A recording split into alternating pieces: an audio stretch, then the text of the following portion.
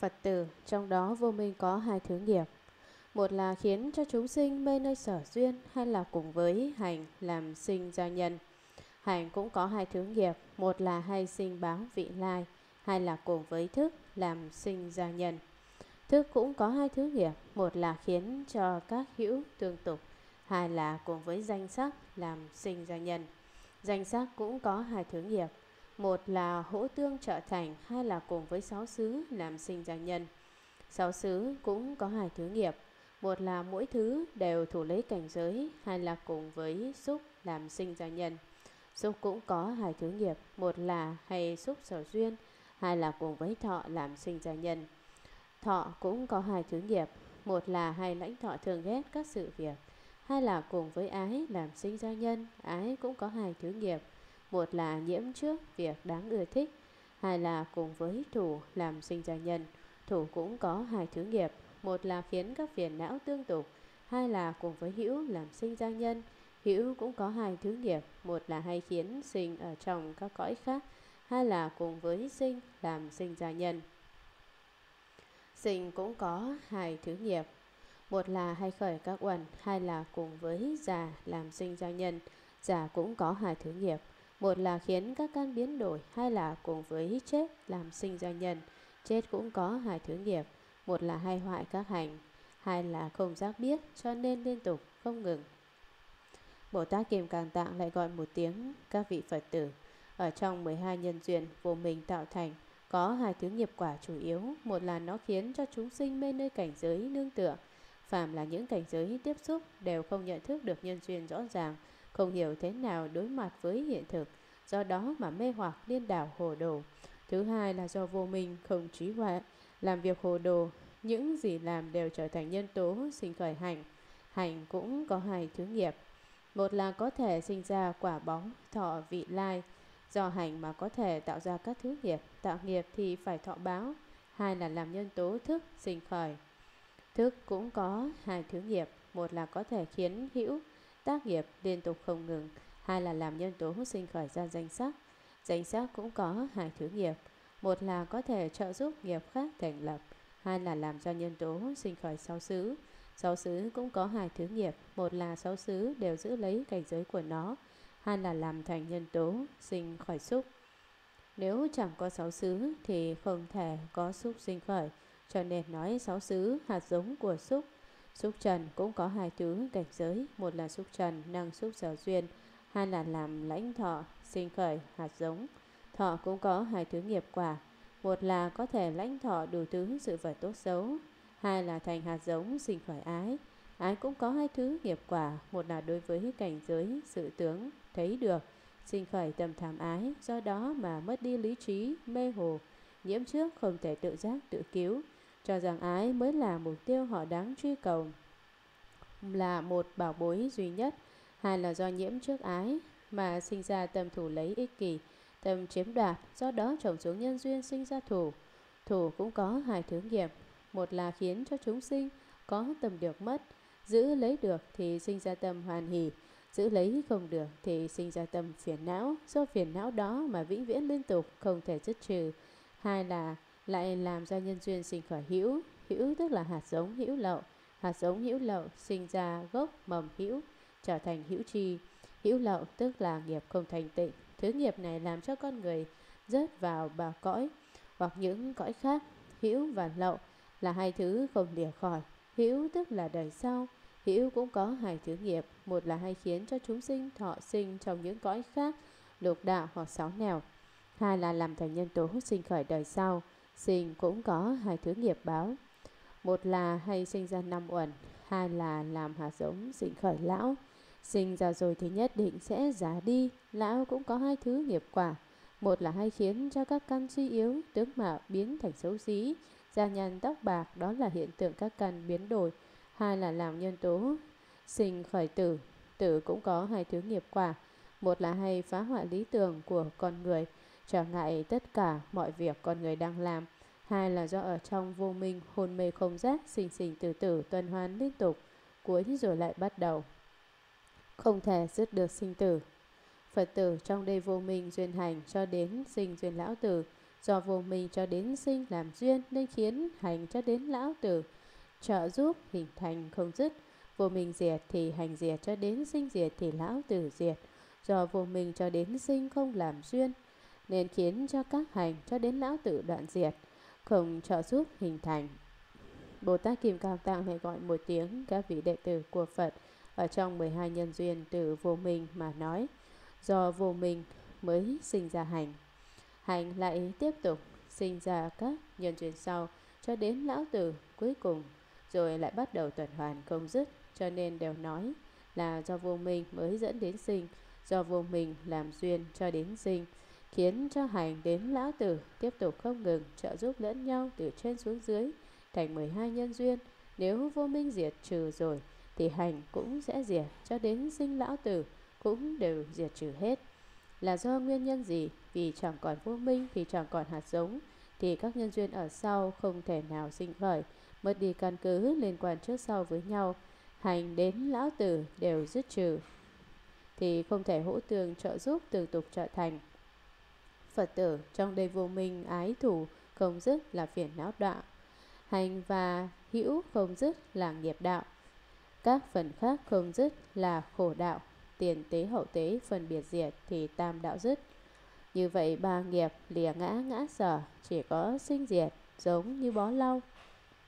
Bồ Tát Kim Cang Tạng lại gọi một tiếng các vị đệ tử của Phật nếu không thể đoạn trừ vô minh, ái và thủ trong 12 nhân duyên thì đây tức là hoặc nghiệp sẽ trở thành phiền não.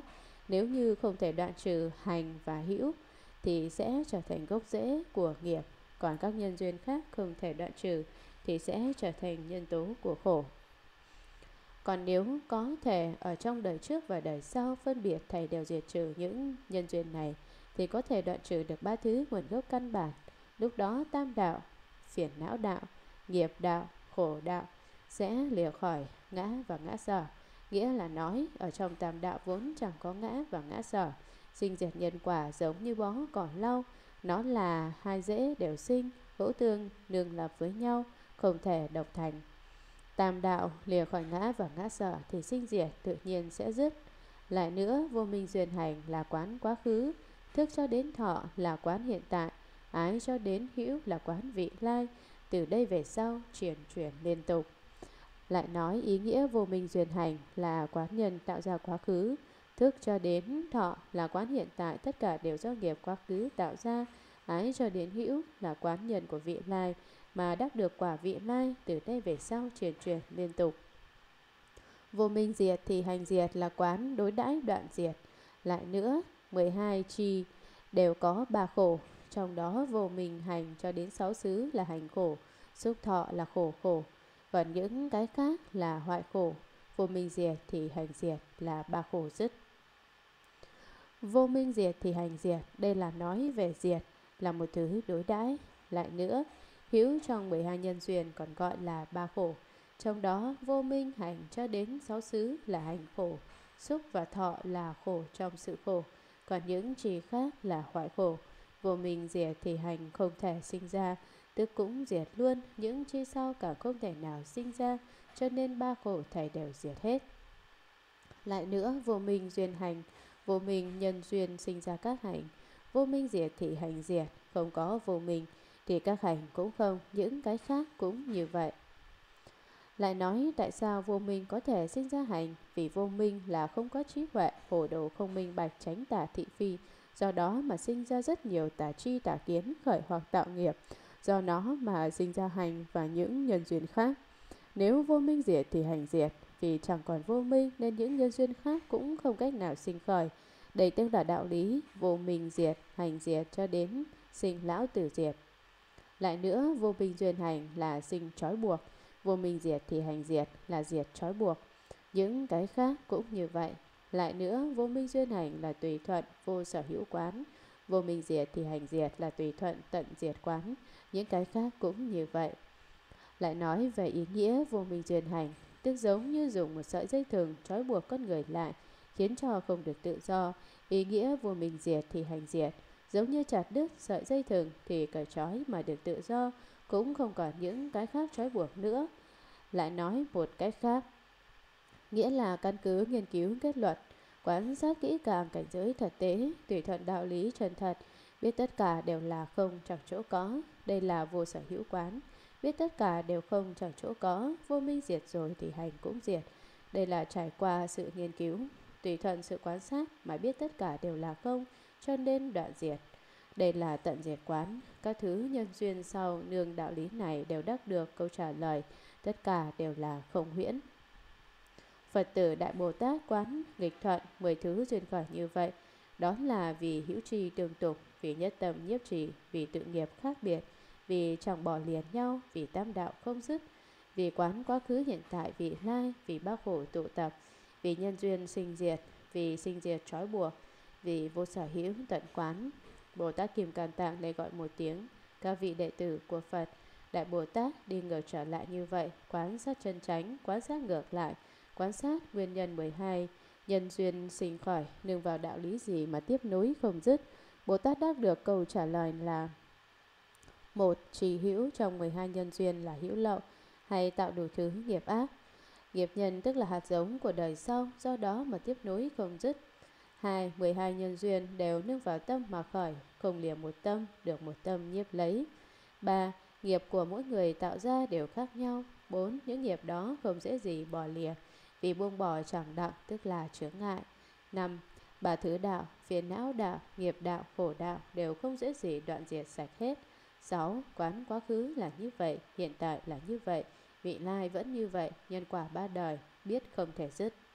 7. Ba khổ ngày càng tích lũy, không dễ hết được. 8. Đủ thứ nhân quả tạo thành sinh diệt không dứt. 9. Sinh diệt như bị trói buộc, không thể giải thoát được. 10. Tất cả không chẳng chỗ có, quán sâu như vậy. Bồ Tát biết Pháp thế gian không trái với Pháp xuất thế. Phật tử, Đại Bồ Tát dùng 10 thứ tướng quán các duyên khởi như vậy, biết không có cái ta, không người, không thọ mạng, tự tánh không, không người làm, không người thọ.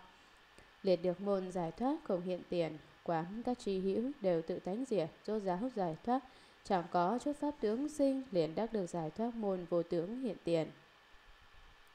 Như vậy vào không vô tướng rồi, không có nguyện cầu chỉ trừ đại bi làm đầu giáo hóa chúng sinh, liền đắc được môn giải thoát vô nguyện hiện tiền. Bồ Tát tu ba môn giải thoát như vậy, liền nghĩ tưởng cái ta đó, liền nghĩ tưởng người làm người thọ, liền nghĩ tưởng có và không. Bồ Tát Kim Càn Tạng lại gọi một tiếng các vị đệ tử của Phật. Đại Bồ Tát địa thứ sáu tu hành Bồ Tát đạo tích tập đủ thứ căn lành Ngài căn cứ vào 10 phương pháp như đã nói ở trên quán tưởng duyên khởi của 12 thứ nhân duyên. Ngài biết trong tất cả sự vật đều chẳng có cái ta tồn tại. Đây là không ta, cũng chẳng có người khác tồn tại, cũng chẳng tồn tại thọ mạng. Đây là chúng sinh không, tự tánh của nó vốn không, chẳng có bản thể, tức chẳng có người làm, cũng chẳng có người thọ. Quan sát như vậy bèn chứng được pháp môn giải thoát không, thấu rõ các pháp không tướng, Ý nghĩa hiện tiền là nói trí và cảnh đều đến được chỗ sâu xa, lại quán tất cả duyên khởi của hữu, tự tánh của nó vốn là vắng lặng, vốn chẳng có sự trói buộc, vốn là giải thoát, cũng chẳng sinh ra một chút pháp tướng nào, quá sát như vậy. Lập tức chứng được pháp môn một tướng vô tướng, năng sở đều vắng lặng thì vô tướng hiện tiền. Quán tưởng như vậy rồi, từ không mà vào giả, minh bạch, tất cả tướng cũng đều là giả, nên giác ngộ thêm gì cũng chẳng có thì không cầu cũng không nguyện, tất cả vọng tưởng đều tiêu mất huyễn hóa, chỉ có một tâm đại bi mới là chân thật quan trọng bậc nhất, có tâm đại bi mới có thể giáo hóa chúng sinh, độ chúng sinh trong sự khổ nạn, lợi ích chúng sinh. Đắc được sự giác ngộ này lập tức chứng được pháp môn giải thoát không vô tướng vô nguyện hiện tiền. Bồ Tát suy ngẫm thầm trọng như vậy, quán sát kỹ càng, tinh truyền tu học, chuyên tâm nghiên cứu ba môn giải thoát ở trên, môn giải thoát không, môn giải thoát tướng, môn giải thoát nguyện. Suy ngẫm lìa khỏi không người không ta, ta người đều không còn nữa. Suy ngẫm lìa khỏi người làm người thọ, năng sở cả hai đều không. Suy ngẫm lìa khỏi có và không đến được cảnh giới chân không. Phật tử Đại Bồ Tát này đại bi càng tăng thêm tinh chuyên tu tập. Vì chưa mãn pháp Bồ Đề Phần nên khiến cho viên mãn bền nghĩ rằng tất cả hữu vi có hòa hợp thì truyền, không hòa hợp thì không truyền duyên tập thì chuyển, duyên không tập thì không chuyển. Tôi biết pháp hữu vi nhiều các họa hoạn như vậy, phải dứt nhân duyên hòa hợp này. Nhưng vì thành tựu chúng sinh nên cũng không chốt giáo diệt các hành. Bồ Tát Kim Cang Tạng lại gọi một tiếng các vị đệ tử của Phật, vị Đại Bồ Tát chứng được địa thứ sáu này, vì tỏ ngộ ba pháp môn giải thoát, biết được sự quan trọng của tâm đại bi, thường thường dũng mãnh tinh tấn tu học, thì tâm đại bi ngày càng tăng trưởng.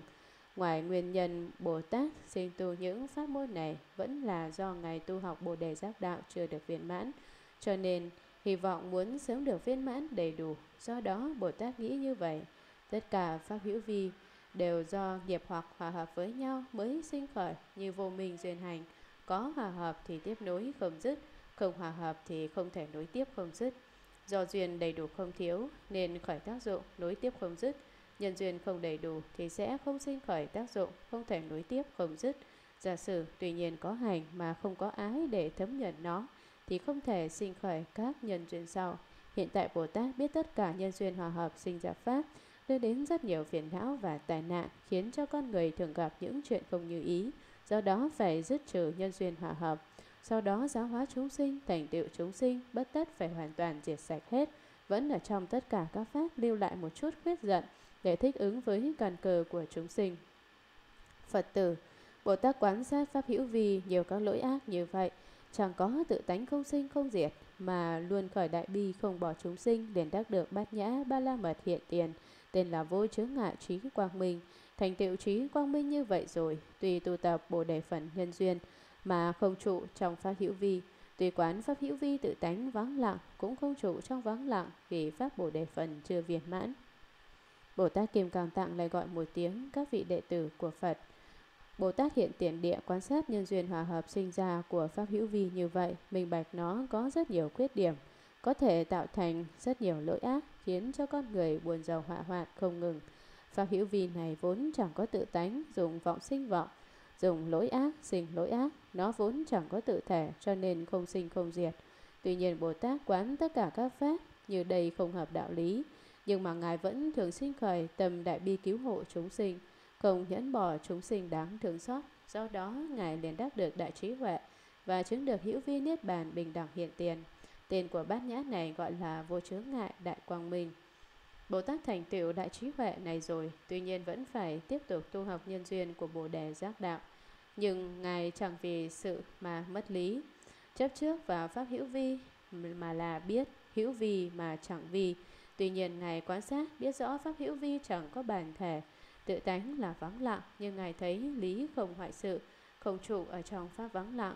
Vì pháp giác đạo mà Ngài tu chưa được viên mãn, cho nên Ngài không trụ nơi có, cũng chẳng trụ nơi không. Phật tử Bồ Tát trụ hiện tiền điện này vào được không tam muội, tự tánh không tam muội, để nhất nghĩa không tam muội, đệ nhất không tam muội, đại không tam muội, hợp không tam muội, khởi không tam muội, như thật chẳng phân biệt không tam muội, chẳng xả lìa không tam muội, lìa chẳng lìa không tam muội. Bồ Tát này đắc được 10 tam muội không như vậy làm đầu, trăm ngàn không tam muội thay đều hiện tiền. 10 vô tướng, 10 vô nguyện, môn tam muội như vậy làm đầu, trăm ngàn vô tướng vô nguyện, môn tam muội thay đều hiện tiền. Bồ Tát chẳng trụ không, chẳng trụ có, nếu như chấp vào không thì không thể tu hành tiến về trước được, phạm vào nhị thừa trung đạo tự hóa, được ít cho là đủ, vướng vào mau bệnh mê hoặc bởi không. Giả như chấp vào có thì chấp trước vào người, chấp trước vào pháp, cho nên Bồ Tát chẳng chấp vào không cũng chẳng chấp vào có, người pháp cả hai đều vong mất, chẳng chấp vào có không. Do công đức trợ đạo chưa đầy đủ, còn phải sinh tu lục độ vạn hạnh, hành sở vô sự. Bồ Tát Kim Cang Tạng lại gọi một tiếng các vị đệ tử của Phật. Khi Bồ Tát trụ tại hiện tiền địa, Ngài sinh tu lục độ phản hạnh và pháp môn hiện tiền địa thì Ngài chứng được. Một thật không tức là vào không, cho nên Ngài vào được không tam muội tránh định lìa khỏi có. Tam muội này chẳng chấp vào tất cả pháp hữu vi. Hai tự tánh không tức là không tánh, tự tánh vốn là không, chẳng rời vào không cũng chẳng rời vào có. Bồ Tát cũng chứng được tránh định tự tánh không, tức là pháp không bà đệ nhất nghĩa không tam muội, tức là hiểu rõ đệ nhất nghĩa đế, chẳng chấp vào đệ nhất nghĩa. Bốn đệ nhất không, tức so với đệ nhất nghĩa không càng tiến thêm một bước, tức chẳng rơi vào không cũng chẳng rơi vào có, không có chẳng hai.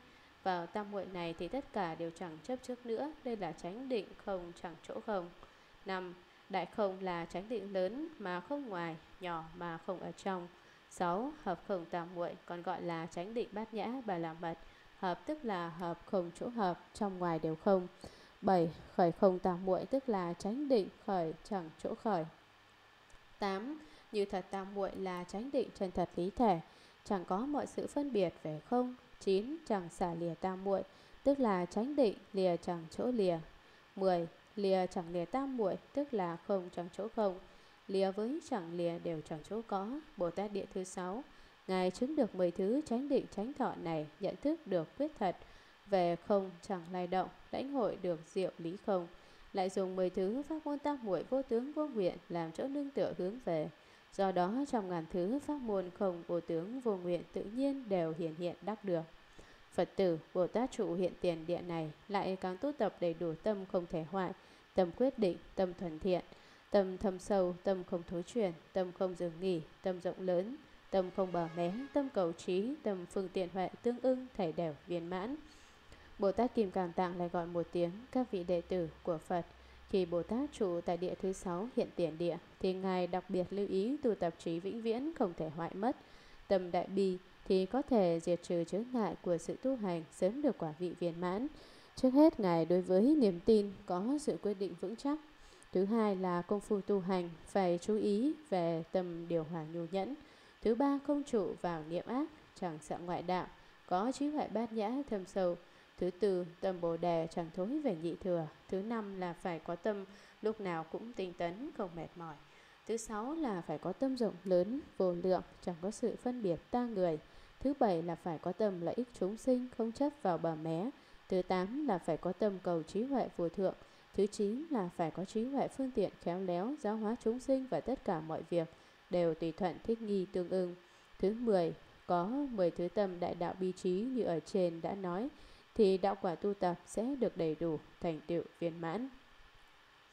Phật tử Bồ Tát dùng mười thứ tâm này tùy thuận Phật Bồ Đề, chẳng sợ dị luận vào các trí địa, lìa đạo nhị thừa hướng về Phật trí, các ma phiền não không thể nào trở ngại phá hoại được, trụ nơi trí huệ quang minh của Bồ Tát, ở trong pháp không vô tướng vô nguyện đều khéo tụ tập. Phương tiện trí huệ luôn tương ưng với nhau, pháp Bồ Đề phần thực thực hành không bỏ. Bồ Tát Kim Cang Tạng lại gọi một tiếng các vị đệ tử của Phật. Vị Đại Bồ Tát địa thứ sáu này đang tu tập, dùng mười thứ tâm trí huệ như đã nói ở trên, tùy thuận Bồ Đề giác đạo thâm nhập thú hướng, trình tu tập mà được tự tại. Do đó không sợ thiên ma ngoại đạo và tất cả tà tri tà kiến của ngoại đạo luận sư nói. Bồ Tát chẳng những không bị ảnh hưởng chúng mà còn có thể hàng phục được họ. Do đó một lòng thâm nhập vào trí địa của Phật. Bồ Tát minh bạch tôn chỉ thú hướng của hàng nhị thừa là không rốt giáo, cho nên Ngài xa lìa thanh văn chuyên giác, tự biết sinh tù Phật trí. Ngài lại có thể đoạn trừ tất cả ma chướng, chướng ngại sự tu tập như phiền não chướng, sở trì chướng, vân vân. Các loại ma chướng đó cũng không thể dùng sức để phá hoại quyết tâm và sức trí huệ của Ngài được.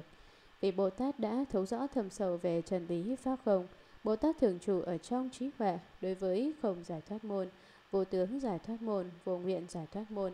Ba thứ pháp môn này, Ngài đều hiểu được tu tập và ứng dụng như thế nào mà không chấp trước vào bà cõi.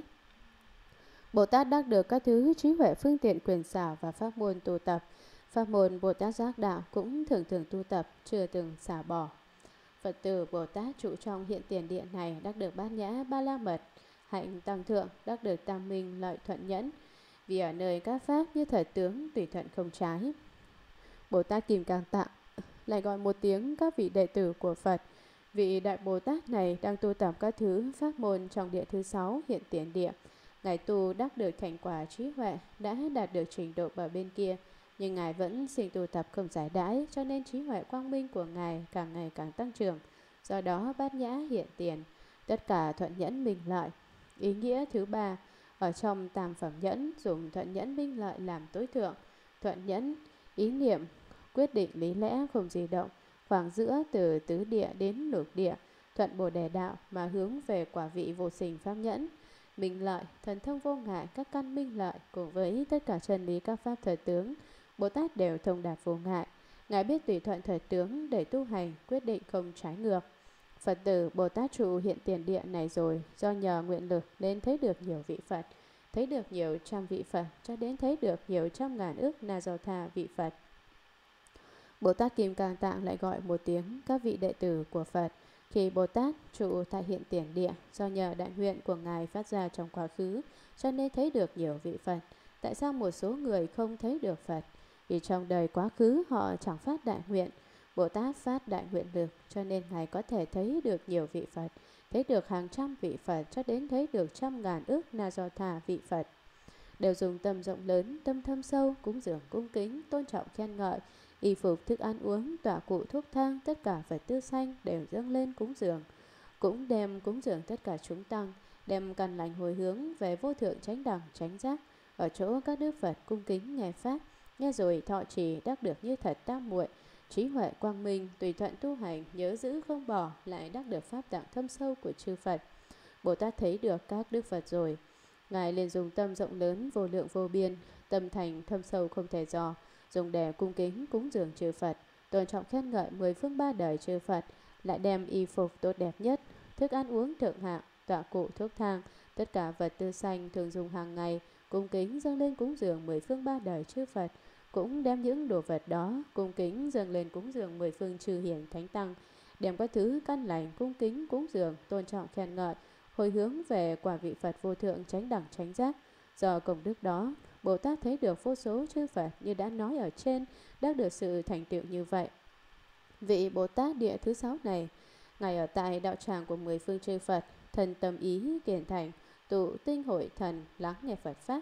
Nghe rồi Ngài nhất định ý giáo phụng hành, thọ nơi tâm, hành nơi thân, cho nên đắc được tránh định tránh thọ chân thật, mà hiện ra trí huệ quang minh vốn có. Ngài thuận theo trí huệ, tu hành các pháp môn, suy ngẫm, ghi nhớ không quên, thành khẩn sinh tu Phật Pháp như vậy cho nên được chư Phật hộ niệm, cũng đắc được Pháp tạng thâm sâu vi diệu của chư Phật.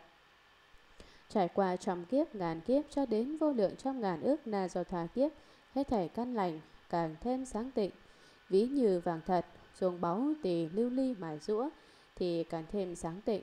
Bồ Tát siêng năng tu hành, trải qua trăm kiếp, ngàn kiếp cho đến vô lượng trăm ngàn ước na do tha kiếp, căn lành của Ngài tích tụ càng thêm sáng lạng, càng thanh tịnh hơn. Đây cũng giống như luyện vàng thật, dùng đá báu tỳ lưu ly mài rũa nhiều lần thì khiến cho vàng càng sáng lạng càng thanh tịnh. Công phu tu hành của Bồ Tát hiện tiền địa, căn lành tích tập giống như vàng thật, cũng từng kiếp từng kiếp đầy đủ viên mãn. Hết thảy căn lành của Bồ Tát điện này cũng lại như vậy. Dùng phương tiện huệ theo dõi, quan sát, càng thêm sáng tịnh, lại càng vắng lặng, chẳng có trẻ khuất được. Ví như ánh sáng mặt trăng chiếu lên thân chúng sinh, khiến cho được mát mẻ, bốn thứ gió không thể nào hoại được. Hết thảy căn lành của Bồ Tát Điện này cũng lại như vậy, có thể diệt vô lượng trong ngàn ước na do tha lừa phiền não của chúng sinh. Bốn thứ ma đạo không thể nào phá hoại được. Bồ Tát này ở trong 10 ba la mật, thiên nhiều về bát nhã ba la mật, còn các ba la mật kia chỉ tùy sức tùy phần mà tu. Phật tử đó là lược nói về hiện tiền địa thứ sáu của Đại Bồ Tát. Bồ Tát tại địa thứ sáu hết thảy căn lành của Ngài cũng giống như vàng thật. Ngài dùng phương tiện trí huệ khéo léo mà Ngài tu được, theo lại quan sát, thì trí huệ quang minh của Ngài càng thêm sâu rộng. Vì trí huệ vốn có của Ngài hiện hiện ra chứng được trí huệ, giải thoát khỏi chứng ngại thì càng vắng lặng. Do trí huệ của Ngài thanh tịnh cho nên chẳng có bất cứ quang minh nào có thể che khuất được, cũng chẳng có bất cứ quang minh nào so sánh được. Ví như ánh sáng mặt trăng trong hư không, chiếu sáng đến tất cả thân chúng sinh, khiến cho hết thảy chúng sinh đều cảm thấy mát mẻ tự tại. Dùng bốn thứ gió có thể phá hoại tất cả các pháp để nói. Gió mùa xuân điều hòa, ví dụ mà phiền não vì có tâm ý thuận ái. Gió mùa hè nóng, dụ như ma uẩn, nhiệt não nhiều. Gió mùa thu mát mẻ, dụ cho tử ma, quả chín tiêu sát. Gió mùa đông lạnh, dụ cho thiên ma, hại người hành thiện. Bốn thứ gió này Tùy mỗi thứ có oai lực của nó nhưng không thể nào phá hoại được ánh sáng mặt trăng, làm cho ánh sáng mặt trăng ẩn đi. Căn lành của Bồ Tát hiện tiền địa tu tập cũng giống như ánh sáng mặt trăng, chẳng có bất cứ vật gì có thể làm tổn hại ngài được. Căn lành của Bồ Tát tu tập có thể tiêu diệt vô lượng trong ngàn ức lừa phiền não của chúng sinh. Bốn thứ ma, ma phiền não, ma bệnh, ma chết, thiên ma. Tuy nhiên lợi hại cũng không thể nào phá hoại được căn lành của Bồ Tát. Bồ Tát địa thứ sáu tu hành phần nhiều thiên về bát nhã trí huệ ba la mật trong 10 ba la mật. Còn chín ba la mật kia không phải là không tu hành mà là tùy sức và duyên phần của mình mà tu tập. Các vị đệ tử của Phật đây chỉ là nói sơ lược về quá trình tu tập của Đại Bồ Tát hiện tiền địa thứ sáu, nói chút ít về cảnh giới thật tại mà thôi. Bồ Tát trụ tại điện này phần nhiều làm thiện hóa thiên vương, việc làm đều tự tại, tất cả thanh văn, vấn nạn điều gì đều không khuất phục được, hay khiến cho chúng sinh diệt trừ được ngã mạn vào sâu duyên khởi. Bố thí ái ngữ lợi hành đồng sự làm tất cả các nghiệp như vậy đều không lìa khỏi niệm Phật cho đến không lìa niệm đầy đủ nhất thiết chủng trí, nhất thiết trí. Lại nghĩ như vậy, ở trong tất cả chúng sinh tôi phải làm thượng thủ, làm tối thắng cho đến làm bậc y chỉ của nhất thiết trí. Bồ Tát này nếu siêng hành tinh tấn thì trong khoảng một niệm đắc được trăm ngàn ước tam muội cho đến thị hiện trăm ngàn ước Bồ Tát dùng để làm quyến thuộc nếu dùng nguyện lực tự tại mà thị hiện thì nhiều hơn số trên cho đến trăm ngàn ước na do tha số kiếp không thể đếm biết được. Khi Bồ Tát tu đến quả vị địa thứ sáu thì đa số đều thị hiện làm thiên vương cõi trời thiện hóa. Những gì Ngài làm đều nhậm vận tự tại, không bị bất cứ gì làm khó khăn hoặc trở ngại được. Dù hàng thanh văn có vấn nạn đối với Phật Pháp, thì vị Bồ Tát này cũng không thể nào bị khuất phục những vấn nạn đó, vì Ngài đã thấu rõ đạo đế của hàng nhị thừa nên hàng phục được. Vị Bồ Tát này cũng rất khéo léo giáo hóa chúng sinh, hay khiến cho chúng sinh được lợi ích mà diệt trừ được ác tập cống cào ngã mạn, khiến cho chúng sinh vào sâu hiểu rõ được đạo lý chân thật của các pháp duyên khởi. Bồ Tát độ hóa chúng sinh, trước hết quan sát tập tánh và sự cần thiết của chúng sinh, sau đó dùng bố thí ái ngữ lợi hành đồng sự trong bốn pháp nhiếp. Như vậy tất cả công việc độ hóa đều không quên tông chỉ Phật Pháp, cũng không trái với nguyên tắc đầy đủ trí huệ, hoàn toàn bám vào trí huệ tối thượng để hành sự. Do đó Bồ Tát lại nghĩ như vậy. Tôi phải làm bậc lãnh đạo trong tất cả chúng sinh, là một bậc lãnh đạo thủ thắng có đầu não đặc biệt, cho đến làm y chỉ sư của những người có trí huệ nhất, phải giống như Đức Phật tự giác giác tha, làm thầy của trời người. Nếu như vị Bồ Tát này dũng mãnh tinh tấn không giải đãi, thì có thể ở trong một niệm đắc được trăm ngàn ước tránh định, tránh thọ, tam muội cũng có thể ở trong một niệm thị hiện được trăm ngàn ước Bồ Tát làm quyến thuộc của Ngài. Nếu dùng nguyện lực mà Bồ Tát đã phát ra trong quá khứ, thì Ngài rất tự tại thị hiện tất cả, còn hơn số vừa nói ở trên. Dù bạn có dùng trăm ngàn ước na do tha kiếp để tính đếm, cũng không cách chi đếm rõ ràng được. Bây giờ Bồ Tát Kim Cang Tạng muốn thuật lại nghĩa trên, bèn nói kệ rằng Bồ Tát viên mãn ngũ địa rồi, quán pháp vô tướng cũng vô tánh, không sanh không diệt vốn thanh tịnh, không có hí luận không lấy bỏ. Lúc đó Bồ Tát Kim Cang Tạng muốn tự thuật lại ý nghĩa đã nói ở trên, do đó dùng phương pháp kệ để nói ra. Kệ tụng nói như vậy. Đại Bồ Tát tu tập hạnh Bồ Tát, tích tụ đủ thứ căn lành, viên mãn chứng được địa thứ năm rồi. Quả vị nàn thắng địa, Ngài quan sát các pháp, biết các pháp vốn là không có thể, không tướng, cũng không có tánh. Pháp không sành cũng không hoại diệt vì nó vốn thanh tịnh không nhiễm, và vốn không có chỗ gọi là hiếp lợn cũng không có chất báu cụ thể có thể lấy, có thể bỏ. Thể tướng vắng lặng như huyễn, thầy có không chẳng hài lìa phân biệt. Tùy thuận pháp đánh quán như vậy trí này đắc được vào lục địa. Thể tướng của pháp là vắng lặng, nó giống như mộng huyễn bọt bóng, như sương, như điện, có và không chẳng có hai dạng. Lìa khỏi sự phân biệt lời nói bạn chỉ có thể tùy thuận chân lý của pháp tánh để quan sát suy ngẫm. Nếu chứng được bát nhã trí huệ thủ thắng thì có thể tiến vào địa thứ sáu. Trí này đắc được là không vô tướng vô nguyện ba thứ trí huệ. Mình lại thuận nhẫn trí đầy đủ, quán sát thế gian tướng sanh diệt, do sức si ám thế gian sinh, nếu diệt si ám thế gian diệt. Thông mình có trí huệ, tùy thuận pháp môn nhẫn đủ học, thì có thể đắc được đầy đủ tất cả trí huệ. Bồ Tát quan sát tất cả trên thế gian cùng với tướng trạng sinh diệt của chúng sinh đều do bị sức ngu si ám độn mới lưu chuyển sanh tử tại thế gian. Giả sử tiêu diệt hết sức ngu si ám độn thì không còn lưu chuyển sanh tử tại thế gian nữa. Quán các nhân duyên thật nghĩa, không, không hoại, giả gọi, hòa hợp dụng, không làm không thọ, không nghĩ nhớ, các hành như mây răng khắp nơi, quán sát tất cả nghiệp quả nhân duyên sanh khởi trên thế gian, Phân tích kỹ càng ra thì chẳng có một sự kiện gì chẳng phải là không. Đem tất cả giả danh đó tập hợp lại với nhau thì sẽ sinh ra một thứ tác dụng. Kỳ thật vốn chẳng có người tạo tác, chẳng có người thọ nhận, cũng chẳng có gì suy nghĩ, nhớ tưởng. buông bỏ chẳng đặng vì vô minh mà hưng khởi các thứ nghiệp hành giống như mây theo duyên mới xanh tùy cảnh dòng bùa khắp nơi thể tánh của nó là hư huyễn không thật không biết chân đế gọi vô minh gây tạo nghĩ nghiệp ngu si quả thức khởi cùng sinh đó gọi sắc. Như vậy cho đến các khổ tụ, thế nào gọi là vô minh, không biết chân bí gọi là vô minh. Cứ làm những việc hồ đồ điên đảo, còn tự mình cho là đúng, đây là biểu hiện hành vi vô minh. Những gì vọng tưởng, nghĩ, tà là nhân, làm ra hành vi ngu si hồ đồ điên đảo là quả. Do vô minh nên có hành có hành rồi thì sinh ra thức. Ba thứ này tiếp tục sinh ra danh sắc, tiếp tục cho đến sành lão tử, kết thành quan hệ đời đời kiếp kiếp trong đời đời kiếp kiếp thống khổ tích tụ lại với nhau thấu đạt ba cõi nương tầm có 12 nhân duyên cũng như vậy sinh tử đều do tâm tạo ra nếu tâm diệt rồi hết sinh tử Bồ Tát Địa thứ sáu Ngài đã chứng được đại trí huệ cho nên minh bạch hết thảy ba cõi đều do tâm hiện. Nghĩa là mười pháp giới cũng do một tâm niệm hiện ra. Phật Bồ Tát duyên giác thành phần trời người Atula, súc sanh ngạ quỷ địa ngục. 12 nhân duyên mà hình thành cũng do tâm tạo ra. Con người lưu truyền trong sanh tử luân hồi cũng bắt đầu từ một tâm niệm sinh khởi, do vọng tưởng tạo nghiệp, do nghiệp thọ báo.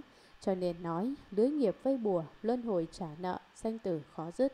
Nếu trong tâm không sành vọng niệm, thì đối với cảnh giới bên ngoài đến như như bất động, rõ ràng, sáng suốt. Bởi vậy, một niệm không sinh toàn thể hiện, sáu căn dao động, bị mây che. Chẳng còn niệm thì tâm sẽ diệt, cũng càng ngã mạng, độc tố tham sân si chẳng còn nữa, sinh tử cũng chấm dứt. Vô mình tạo nên có hai thứ, trong duyên không rõ là nhân hành. Như vậy cho đến lão và tử, từ đây khổ sinh không cùng tận. Vô mình tạo nên nghiệp nhân có hai thứ. Một thứ là làm tất cả, tức là nghiệp nhân giống như hạt giống. Hạt giống gặp duyên chín mùi, tức là nhân của hành. Như vậy tiếp tục về sau thẳng đến sành lão tử. Tuần hoàn không ngừng đều do vô minh sinh ra, ba khổ tám nạn cũng tuần tự sinh ra, chẳng lúc nào cùng tận. Vô minh làm duyên không thể dứt, duyên khổ đó hết thảy đều diệt. Ngu si ái thủ phiền não chi, hành hữu là nghiệp chi khác khổ.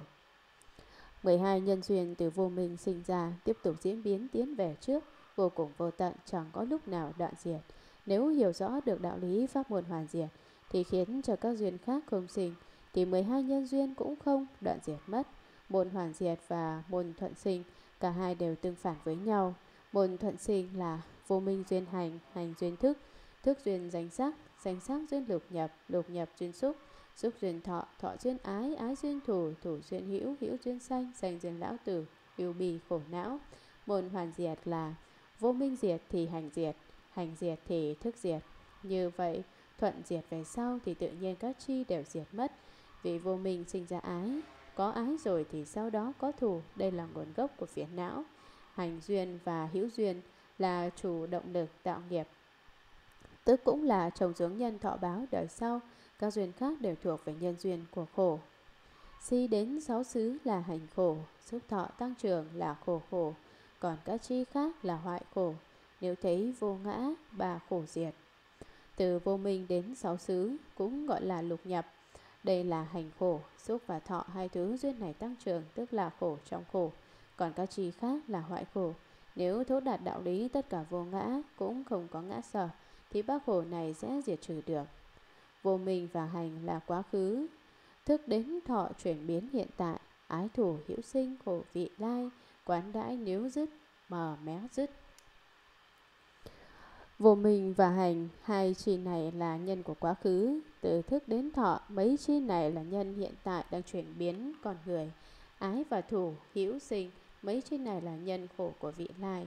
Quan sát, suy ngẫm kỹ càng nhân sinh khởi của 12 nhân duyên, hiểu rõ phương pháp đối trị hoàn diệt, chuyên tâm tu hành, học đạo, đồng đối đãi với khổ vô biên không bờ mé, cuối cùng dứt tận diệt sạch hết. Vô minh làm duyên trói buộc sinh, nơi duyên lìa được trói buộc hết. Từ nhân sinh quả, lìa sẽ dứt, quán sát từ đây biết tánh không. Từ vô minh về sau sinh ra nhân duyên các chi khác, đó tức là trói buộc sinh. Nếu thấu hiểu được môn hoàn diệt thì từ vô minh duyên khởi này sẽ đoạn diệt, trói buộc sinh sẽ hết, khổ cũng hết, chẳng còn nữa. Từ nhân duyên mới sinh ra quả báo, liền nhân duyên rồi thì quả báo đương nhiên sẽ lìa. Bạn thường quan sát suy ngẫm về đạo lý này sẽ minh bạch, nhân duyên sinh ra pháp, tất cả tức là không. Tùy thuận vô minh khởi các cõi, nếu không tùy thuận các cõi dứt. Đây có, kia có, không cũng vậy, mười thứ suy ngẫm tầm lìa chất. Nếu thuận theo vô minh phát triển về sau thì các chi khác, nhân duyên cũng thuận theo từng chi từng chi sinh khởi. Nếu không thuận theo vô minh phát triển về sau thì các chi khác sẽ không sinh khởi theo. Đạo lý này là có chi này thì sẽ sinh ra chi khác. Nếu chi này không sinh khởi thì chi khác không thể sinh ra. Quán tưởng kỹ càng, mười thứ đạo lý này kết luận lại là tâm phải lìa chấp trước. Có chi liên tục một tâm nhiếp, tự nghiệp chẳng lìa và ba đường, ba tế ba khổ, nhân duyên sanh, ràng buộc khởi diệt thuận vô tận.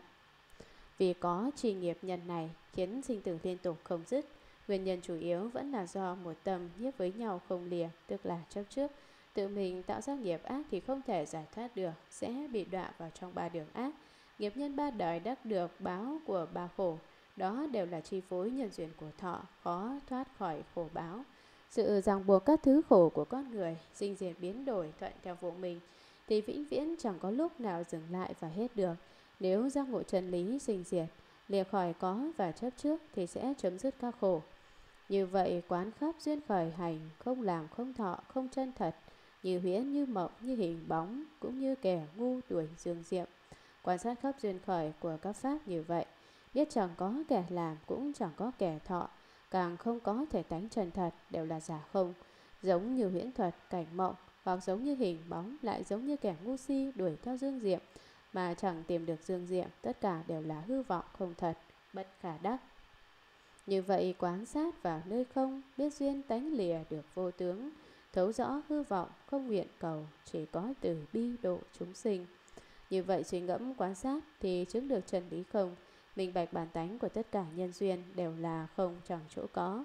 Có thể nhận thức rõ ràng bản tánh của 12 nhân duyên thì sẽ xa lìa vô minh, chứng được pháp môn vô tướng giải thoát.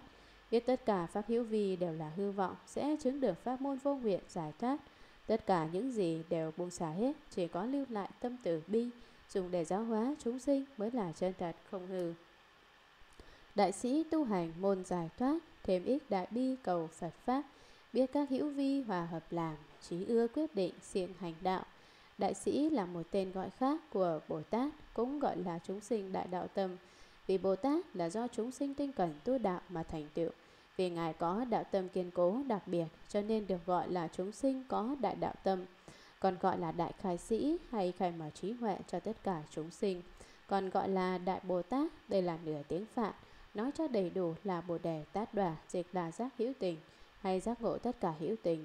Hữu tình tức là chúng sinh, còn gọi là hữu tình giác, nghĩa là một bậc giác ngộ trong hữu tình. Bồ Tát tu học pháp môn giải thoát, Ngài biết muốn đắc được giải thoát phải diệt trừ tham sân si không chấp trước thì mới không bị mọi sự ràng buộc. Sở dĩ phàm phu bị ràng buộc là vì tự mình cùng với vô mình phiền não ràng buộc với nhau, buông bỏ chẳng đặng tham sân si, chấp trước tất cả hư huyễn vọng niệm, do đó chẳng được giải thoát. Nếu phá trừ được vô minh, đoạn sạch phiền não, tiêu diệt tham sân si, như vậy thì sẽ đắc được pháp môn giải thoát, đắc được tự do tự tại chân chánh, chẳng còn chấp trước. Bồ Tát đắc được môn giải thoát, đắc được đại lợi ích thì tâm đại bi càng tăng trưởng, tâm tinh tấn trên cầu Phật đạo càng thêm vững chắc. Bởi vậy Bồ Tát càng thấu rõ vạn sự vạn vật của thế gian cùng với sự hình thành tất cả pháp hữu vi thành lập đều không để khỏi nhân duyên hòa hợp. Bồ Tát biết rõ những đạo lý này rồi, quyết định phát ra tâm kiên cố, trí nguyện tu hành, ưa thích siêng hành Phật đạo. Môn khổng tạm muội đồ trăm ngàn, vô tướng vô nguyện cũng như vậy. Bát nhã thuận nhẫn đều tăng thêm, giải thoát trí huệ được thành mãn.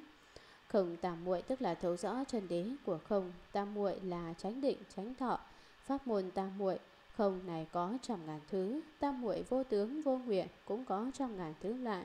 Bát nhã là đại trí huệ vô thượng, pháp trí huệ xuất thế, tùy thuận nơi pháp môn vô sinh pháp nhẫn, càng ngày càng tăng tấn, do đó mà pháp môn giải thoát trí huệ được thành tựu viên mãn lại dùng thâm tâm cúng nhiều Phật ở trong Phật giáo tu tập đạo, được Phật Pháp tạng thêm căn lành như vàng dùng lưu ly rũ bóng. Bồ Tát lại dùng tâm trí thành thâm sâu rộng lớn của Ngài luôn luôn cúng dường các đức Phật, Dưới sự dạy bảo từ bi của Phật, tu tập vô thượng Phật đạo, đắc được Phật Pháp bảo tạo, cần lành cũng càng tăng trưởng, giống như vàng thật dùng lưu ly đá báu để mài rũa, khiến cho sự sáng bóng càng thêm sáng bóng. Như trang mát mẻ bị các vật, bốn gió thổi đến không thể hoại.